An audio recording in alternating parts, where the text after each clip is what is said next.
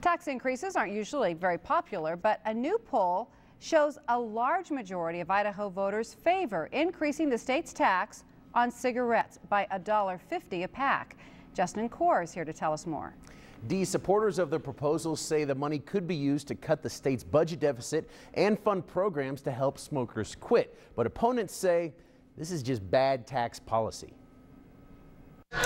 A new poll shows that 73% of the 500 Idaho voters contacted would favor a $1.50 per pack cigarette tax increase.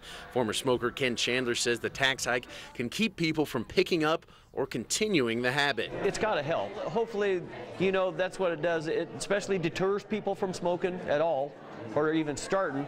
I mean, why spend that, that first money on a pack of cigarettes? The huge majority of those who favored the increase says they would want that money used to fund programs to reduce tobacco use among kids, help tobacco users with non-smoking programs, and prevent cuts to Medicaid. The poll was conducted last month on behalf of a coalition of public health groups like the American Cancer Society. They all held a press conference Thursday touting the idea that they say can save lives, save healthcare costs, and make more money for the state the Idaho public has said we want to do something about smoking.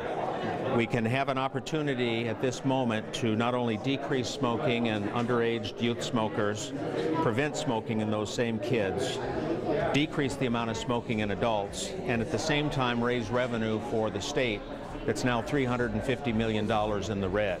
But merchants say this is a case of the majority, non-smokers, pushing around the minority, smokers. But the right of the many over the rights of the few, you know, that's not what we're about in America. Just just because you got there's more of you doesn't mean you can dominate the, the lesser. Idaho's current cigarette tax is at 57 cents per pack, and while that ranks 42nd in the nation, Jones says the state's budget problems shouldn't be put on the backs of smokers. How, how smoking a cigarette has it anything to do with the state's uh, budget deficit on schools, education, um, Medicare?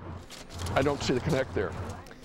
Proponents of the idea say they're already talking to legislators who might be willing to sponsor a bill next session. D?